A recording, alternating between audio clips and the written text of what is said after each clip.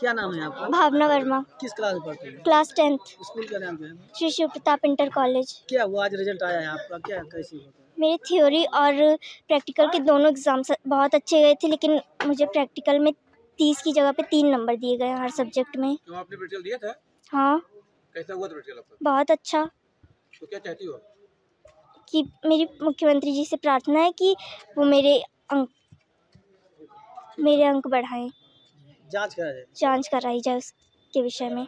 अगर ये अंक अंक जुड़ा होता तो आप भी टॉप हो सकती थी। हाँ बिल्कुल। मेरा नाइन्टी सिक्स परसेंट बन रहा है। तो आपके जोड़े गए होते तो कितना परसेंट आपको होता? Ninety six percent